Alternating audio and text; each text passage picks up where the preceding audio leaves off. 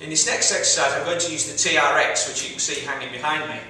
It's a suspension system but if you don't have access to one of these you can always use an Olympic bar or something uh, positioned between a squat rack. Okay, so it's like an upside down row.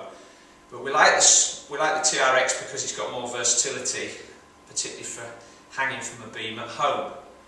Um, so this exercise is like a reverse plank, so there's a bit of core involvement.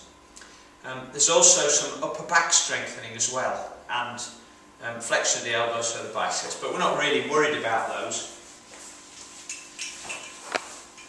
So hanging position,